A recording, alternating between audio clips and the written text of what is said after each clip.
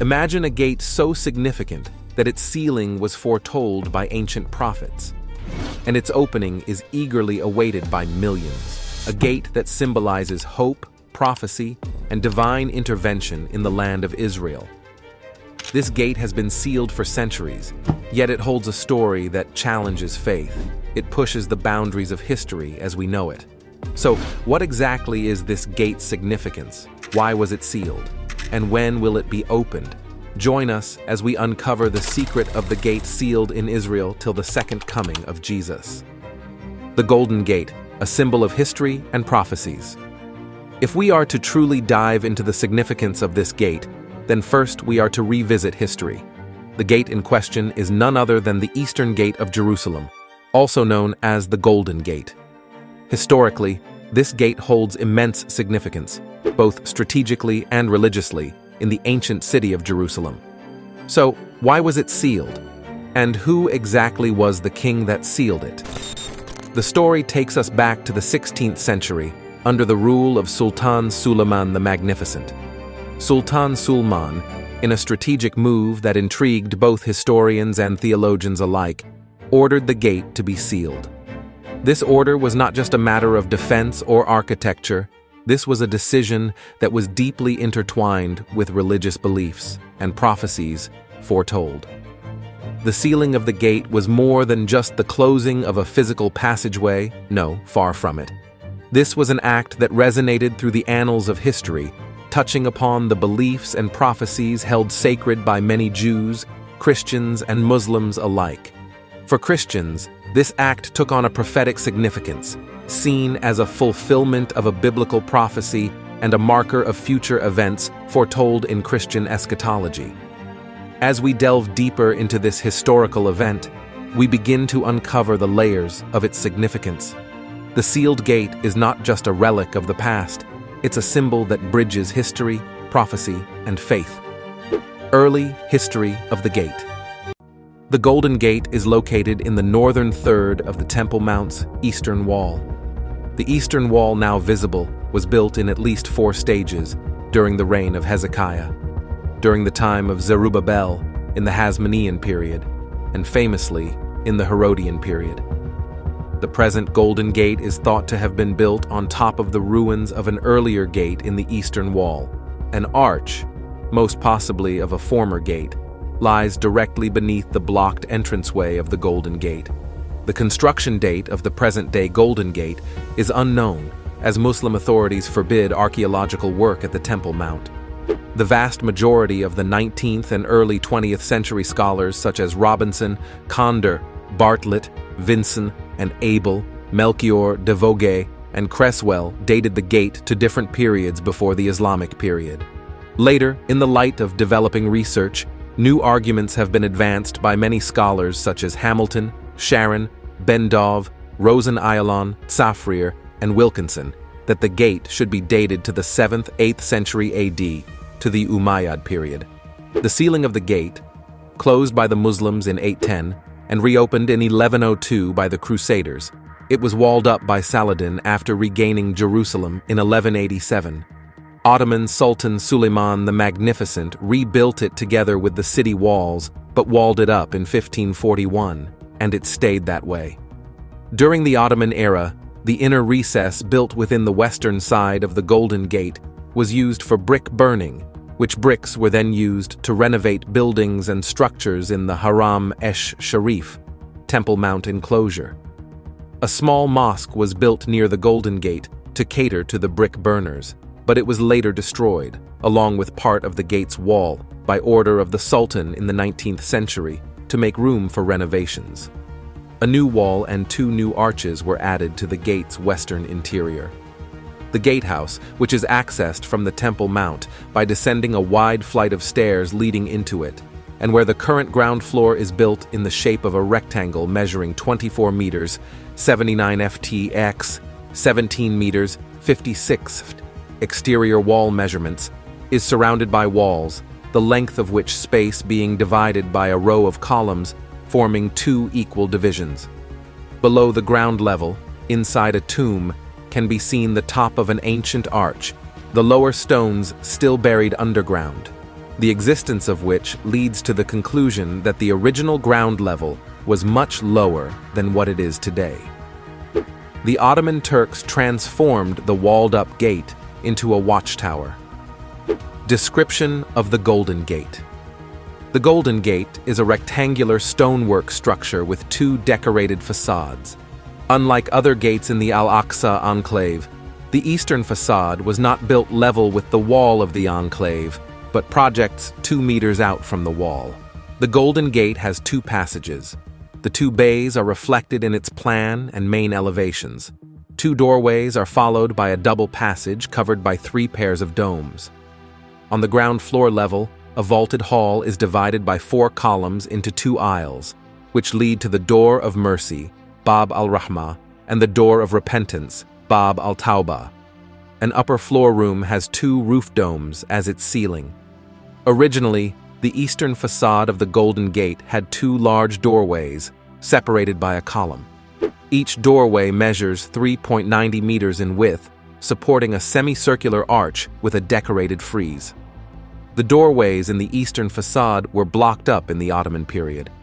It is noticed that some features in the decoration of the Golden Gate bear a close resemblance to the decoration in other non-Muslim buildings that existed in the Levant. The openings of the Golden Gate lead to a rectangular domed vestibule, measuring 20.37 meters, 66.8 feet, in length and 10.50 meters, 34.4 feet, in width, interior wall measurements. At that time, the hall consisted of six shallow domes, which had an elliptical shape, two of which were changed later. These domes are separated by arches of an elliptical shape, springing from two pilasters at the entrances and two central columns. Each dome in the Golden Gate is constructed over a square plan, so special stones are required to form the successive stone circles that form the dome.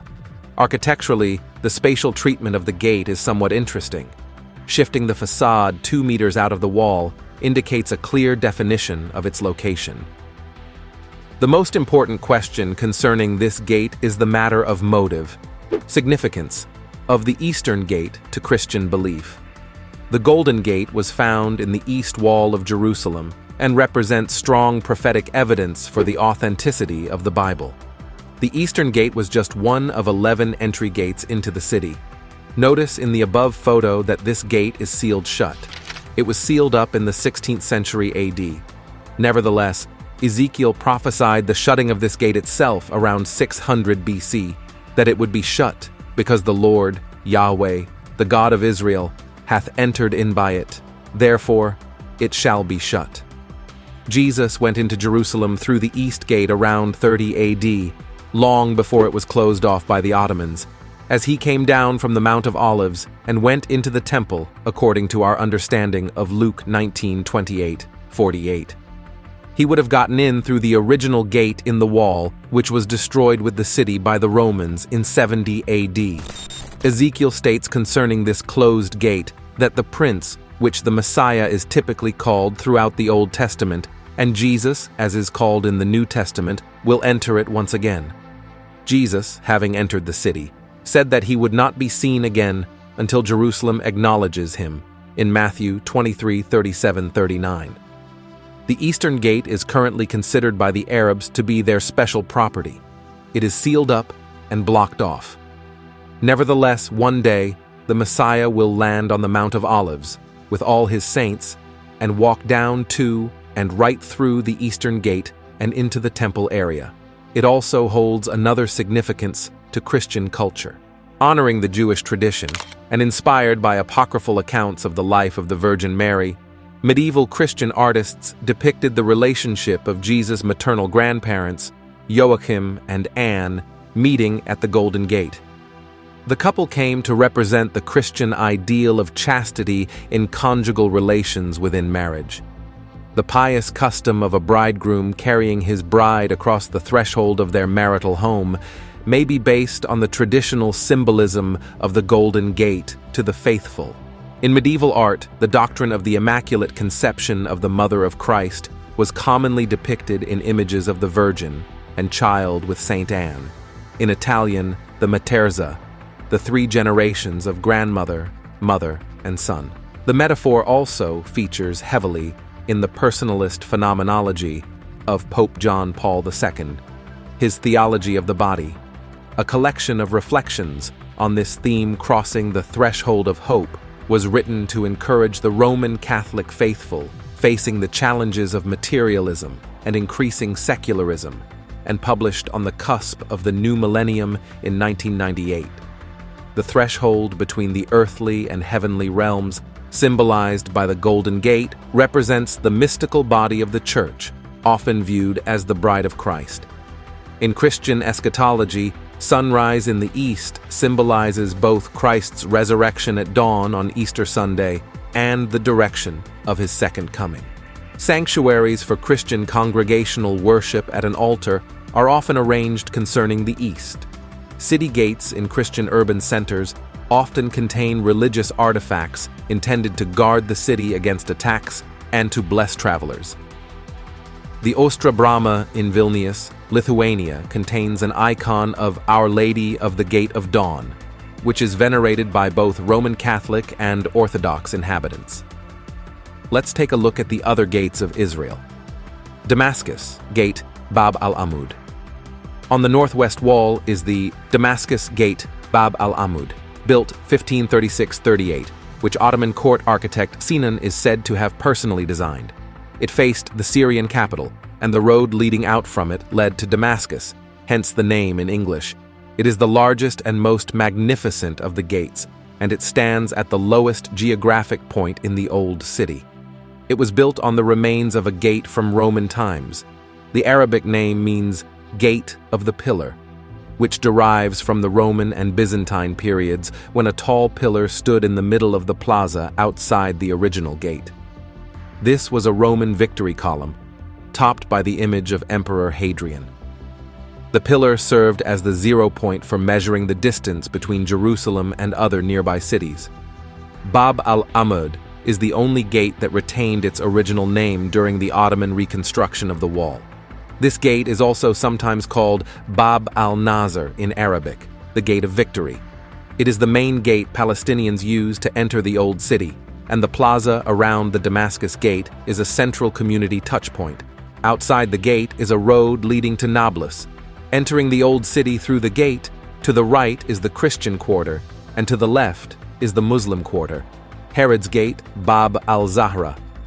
Moving east, one reaches the smallish Herod's Gate, Bab al-Zahra in Arabic, or Gate of Flowers, built 1537-38. Herod's Gate leads to the neighborhoods of Al-Sadiyah and Bab Hitta in the Muslim quarter and connects it to the Bab al-Zahra neighborhood outside the wall. On the internal facade of the gate, decorative Islamic art motifs are visible. The Arabic name, Bab al-Zahra, refers to these motifs. The English name comes from European pilgrims who mistook the gate for a place associated with Herod Antipas. Despite the error, the name stuck. Lion's Gate, Bab al-Asbat. Rounding the corner and walking along the eastern wall of the old city, one comes to the Lion's Gate. Bab al-Asbat, next to Al-Ghazali Square. This ancient gate goes by many names. Another Arabic name, Bab Sitna Mariam, Gate of Our Lady Mary, refers to the gate's proximity to the Hana Church, where Christians believe the Virgin Mary was born. Coptic. Christians refer to it as St. Stephen's Gate, after the legend that the first Christian martyr, St. Stephen, was stoned to death outside this gate, although accounts vary.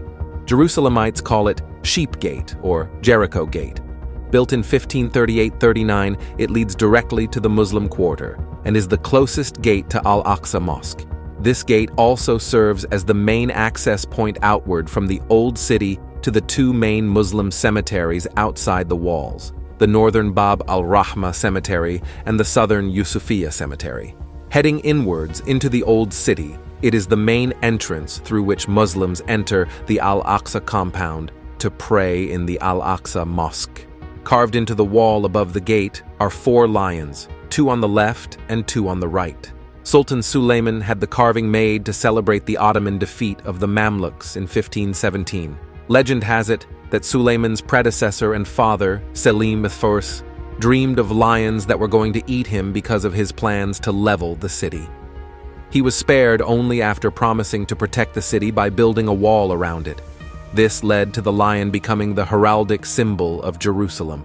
However, the Lion's Gate predates Ottoman times and is the only gate to the Old City that has been open since it was founded. Dung Gate, Bab al-Maghariba. The southeast end of the Old City is accessed through the Dung Gate also called Silwan Gate, since it faces the Palestinian neighborhood, formerly the village of Silwan to the city's south, or, in Arabic, Bab al-Maghariba, the Moroccan Gate or Gate of the Moors. Considered the back door of the Old City, this gate, built 1540-41, provided access to the Old City's Jewish and Maghariba quarters.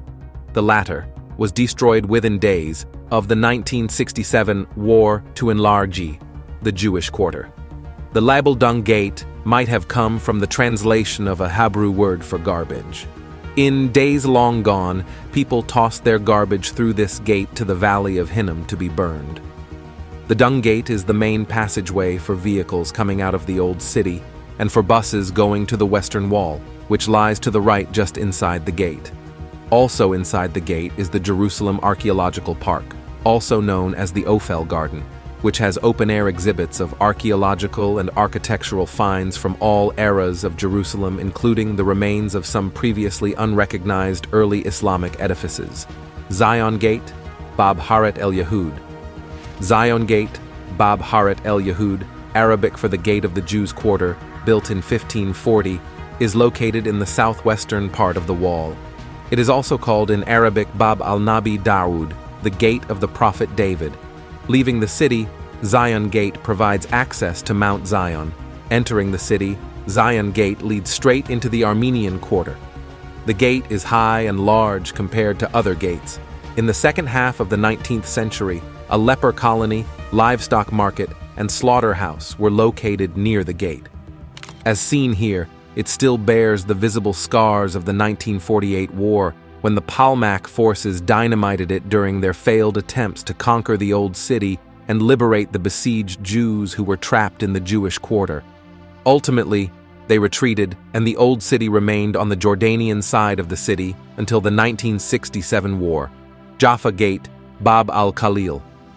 Jaffa Gate, also called Hebron Gate, which is its Arabic name Bab al-Khalil, also meaning Gate of the Friend, was built in 1538, the second largest of the gates, is located in the middle of the western wall of the city and faces Bethlehem and Hebron to the south and Jaffa to the west, hence its various names.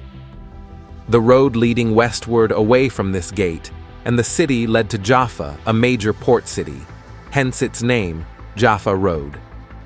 In Arabic, this gate is also sometimes called the Bab Mihrab Daoud, Gate of the Prayer Niche of David. The Tower of David, an ancient citadel first built in the second century, stands nearby. Dignitaries and conquerors alike used this gate, but so did people arriving by horse carriage, bus, or railway. The gate was conveniently located near transportation hubs, when the railroad was built in the early 20th century, this route became a major one for pilgrims visiting the Holy City. In the second half of the 19th century, catering to this traffic, a host of services, markets, hotels, coffee shops, photography shops, and other businesses was located just outside Jaffa Gate. Inside Jaffa Gate was the citadel, from where the governor of Jerusalem ruled. Entering the gate, the Armenian quarter lies to the right and the Christian quarter to the left. The Church of the Holy Sepulchre is nearby. In 1898, the low-lying section of wall next to Jaffa Gate was opened. That section of the Crusader moat was filled, and a road was paved to allow the entourage of the visiting German emperor, Kaiser Wilhelm II, to enter the city comfortably and in style. In 1907, a 25-meter-high clock tower of white limestone was built atop the gate on the occasion of the 30th anniversary of Sultan Abdul Hamid's accession to power. However, the British later dismantled it. In 1917, this was the gate through which the conquering British Army entered the city and declared its military occupation of it.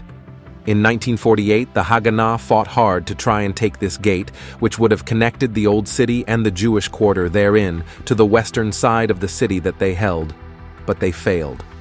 This gate remained on the Jordanian-held side of the city until 1967. New Gate, Bab al-Jadid.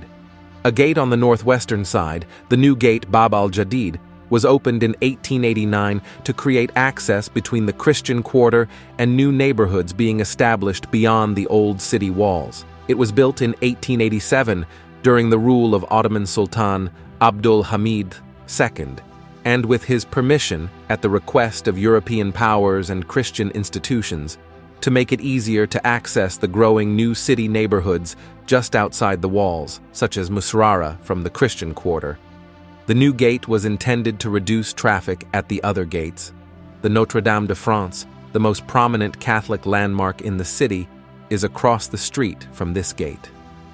Other places in Israel hold both historical and prophetic significance in Israel, and one of them is the Western Wall. The Western Wall, otherwise known by the West as the Wailing Wall, and in Islam as the Buraq Wall, the Western Wall is a portion of ancient limestone wall in the Old City of Jerusalem that forms part of the larger retaining wall of the hill known to Jews and Christians as the Temple Mount.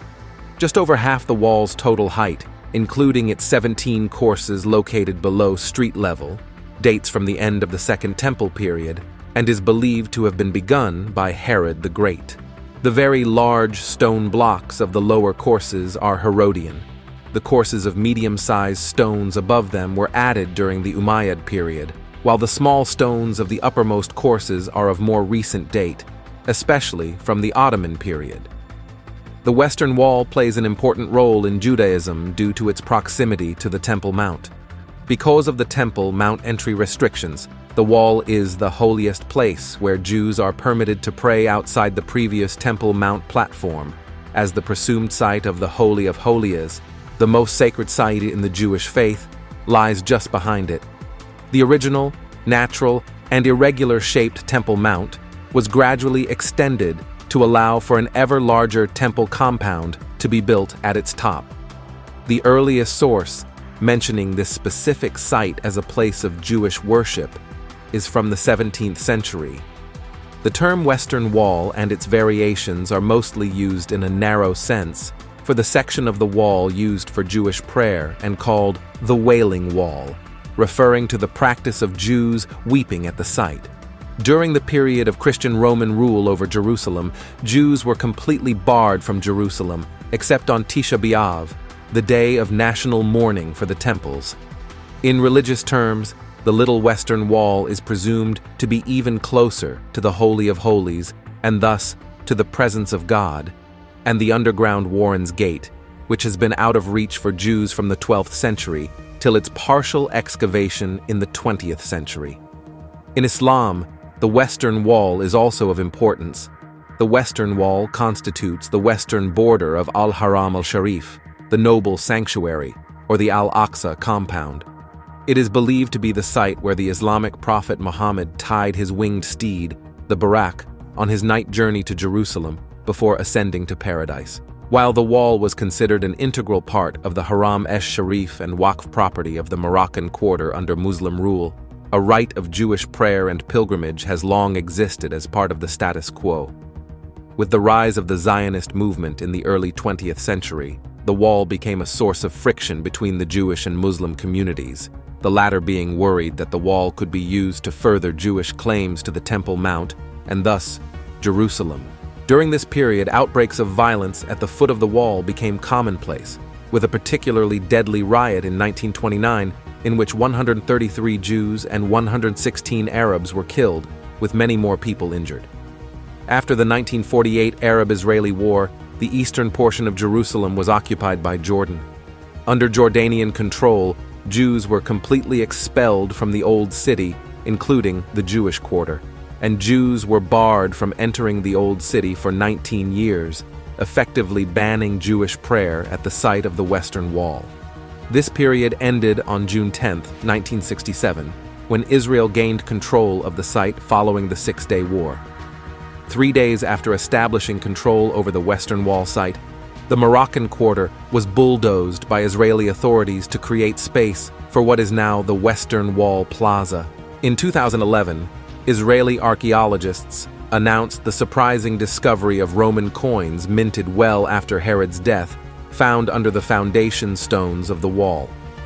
The excavators came upon the coins inside a ritual bath that predates Herod's building project, which was filled in to create an even base for the wall and was located under its southern section. This seems to indicate that Herod did not finish building the entire wall by the time of his death in 4 BCE.